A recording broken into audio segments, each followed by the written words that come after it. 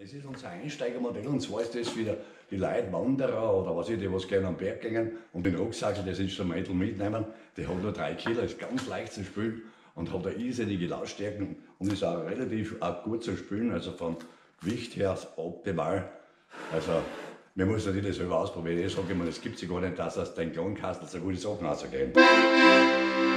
Und einmal einen lustigen Franz, der ist aus der Steckel, der